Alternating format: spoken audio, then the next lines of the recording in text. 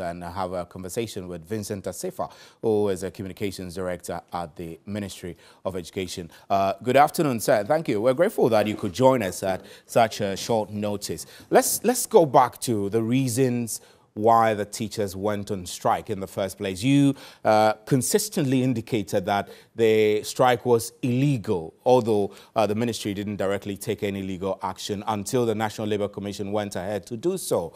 Uh, do you feel vindicated that the teachers eventually, upon a court order, have resumed work?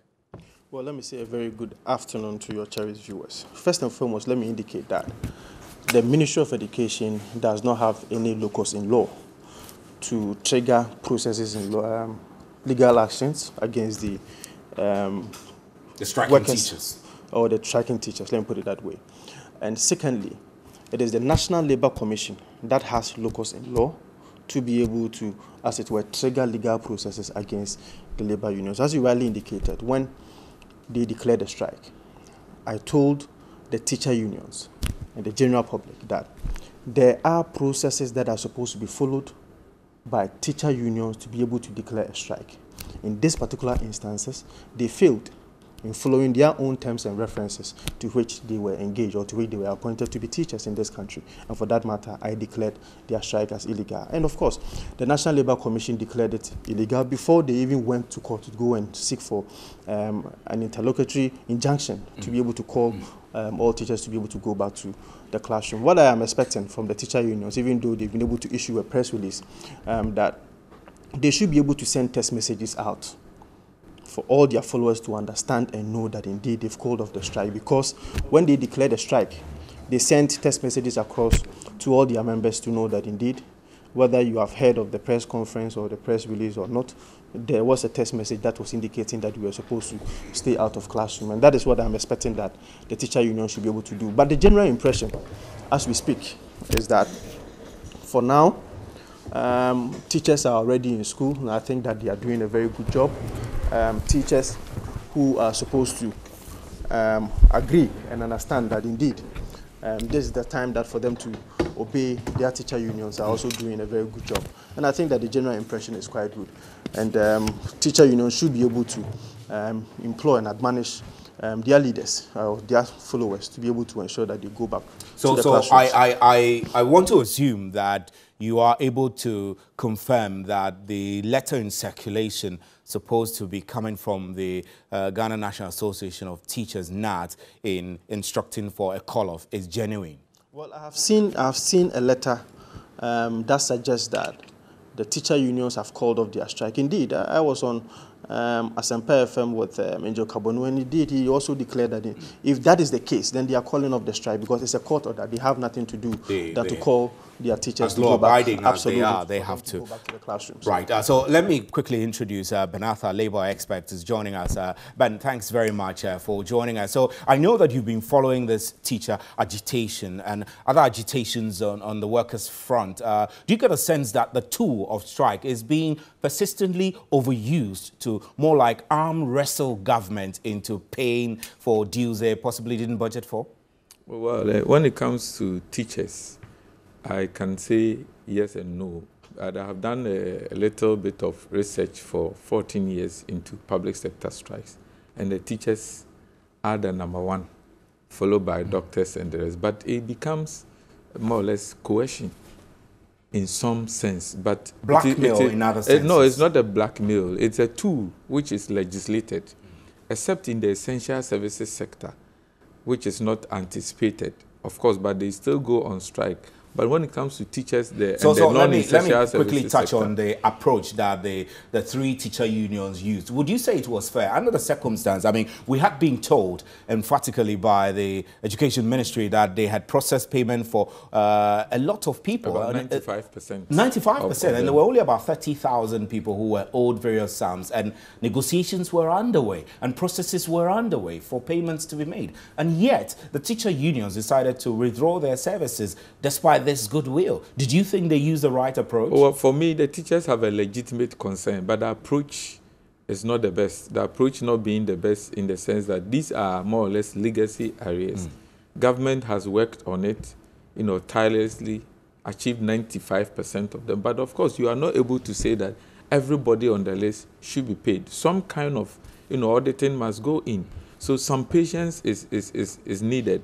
Where I do not think that the, the, the laws had been followed, where the processes, when you look at Act 651, that's the Labour Act 2003, there are clear provisions as to how you can embark on strike. One of them is to notify the parties involved and also notify National Labour Commission. After the notification, you have to wait for seven clear days to elapse. So if you didn't follow that, obviously, your strike, no matter your legitimate concerns, it's will legal. be declared as illegal. illegal. One thing that I, Auntie, I think we have to draw attention to constructively is the tool of strike and the way our laws, you know, have not been able to make adequate provisions for it. Going forward, when we have the opportunity of amending our labor laws, we must demand that unions must possess strike funds and not only that, we must also legislate in such a way that when it comes to so let, let me get clarity. This strike fund, a, what a would strike fund, do? for, exa for example, if the employer were to task or to demand from the employees the losses incurred for embarking on illegal strike, what it means is that all the staff who had been involved in the strike will incur should some surcharged. losses. Should be surcharged, which is within the the the ambit of the law. They should be surcharged if they are going to be surcharged, then what it means is that those losses somebody must make up for. So out of their own union dues and the rest, they should be able to pay that. There are some there are times that people embark on strike because it's been declared by leadership.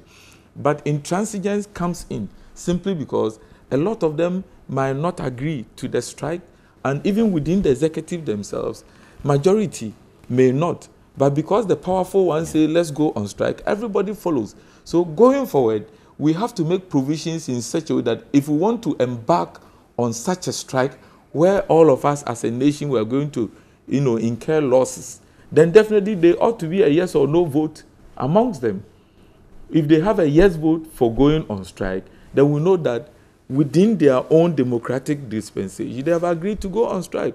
But not five, three, five, sixteen executives go declare strike and look, look at the free SHS. We are all complaining of the amount of money we input. So if you have two days, three days, children in schools doing nothing, but they are eating, we are going to pay for all the services, utilities, and staff will also be paid. Definitely, these are losses that mm. we don't have to incur. So going forward, we have to draw our attention to some of these things. Of right, course, uh, some of us we'll, will make we'll get the necessary to, proposals. We'll get back to you pretty shortly uh, to wrap up on this conversation. But Vice President of NAGRAT, uh, Jacob Anaba, says the three teacher unions will only report to work when monies hit their account. He said the unions do not believe in the documents suggesting monies have been paid. Let's listen to him.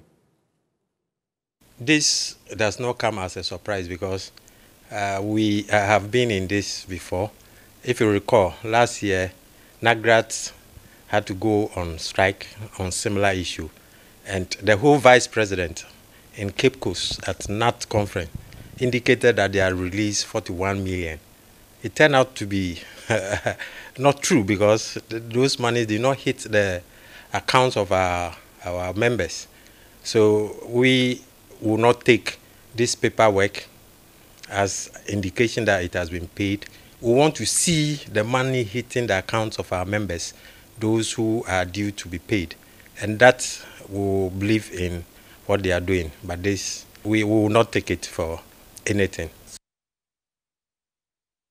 Right, so Jacob and Anabada, let, let me put that to you, uh, Vincent. Uh, the teachers are saying they went back to the classroom because of the court order. Not that they trust the instructions that came for payment of some 49.9, almost 50 million, uh, the order from the finance ministry.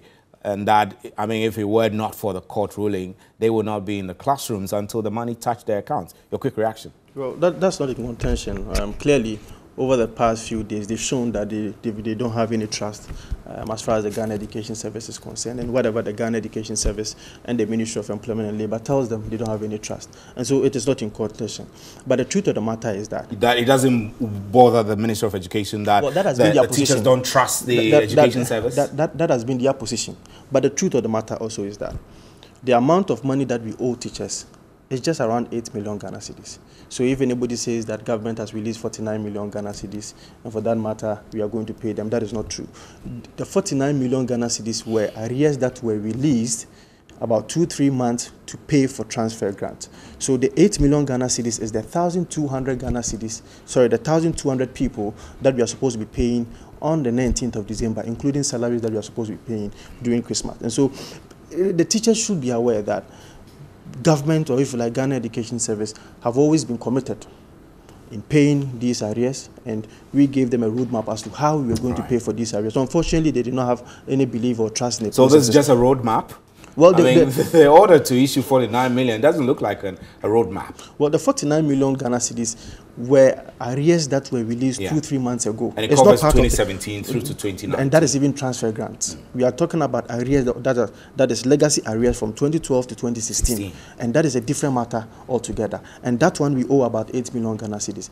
And when I spoke to the Ministry of Finance yesterday, clearly by 19th of December, we are going to pay all these arrears, including salaries, on the 19th of December. So I do not see how and why uh, teachers were having problems as to the commitment that the Ghana Education Service was actually showing to them. And for that matter, they should agree, or they should have agreed, that we were going to pay these monies to them by the end of the, Right, uh, of the Vincent, month. thanks very much. Uh, ben, I'll give you a final word, uh, 30 Uh, seconds. for, for me, I, I was taken aback when I heard the statement that teachers don't strike, uh, they don't trust their, their employers. It's alarming, right? I mean, it's alarming, and to even go ahead to say that teachers don't uh, don't uh, trust the National Labour Commission is is further, you know, Aggravation. uh, aggravation. I mean, they, they, we, we ought to have trust in the system because if National Labour Commission sit as an arbitrator or arbitration panel in any case, or is an administrative body for mediation, and you say that you don't trust in them, does that mean that you will not listen to them?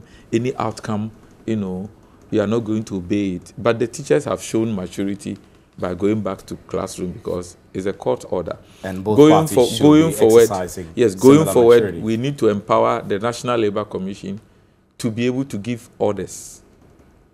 to bite more Yes, often. to bite more. It's, it's extremely important. Right. Uh, ben Arthur, we're grateful for your time. Vincent Assafuah, thanks very much for coming in. I'm Stephen Anti. This is still Midday Live.